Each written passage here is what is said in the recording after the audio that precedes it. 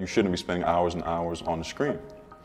And so with Little Hackers, what we tried to do was come up with a nutritious piece of content that was physical, on paper, where a kid could go through self-facilitated study and learn how to code through reading.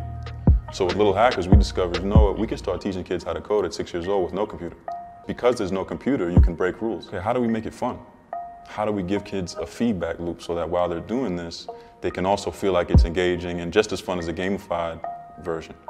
And that's where we introduce augmented reality. What I would like is for kids to start identifying with a culture that um, is exciting, as exciting as the Matrix, right? But as valuable as working at a big tech company. And so I think Little Hackers, the book product in and of itself is an entry point, but what I see really is a brand and a vision and a message and a label that kids can identify with going forward, whether they're learning through our book or through other resources that are available.